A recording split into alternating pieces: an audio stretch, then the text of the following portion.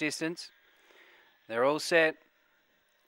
Racing now, away quickly, He's a Lee with About to Rock, coming over Cyclone Beaver, but About to Rock leads. Cheeky Steel gets across to be a clear second.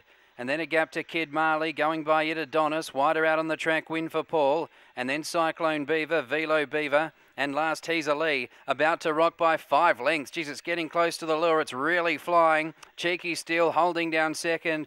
Adonis holding down third. But this is impressive. About to rock by half a dozen in 29.50 over Cheeky Steel, Adonis and Win for Paul.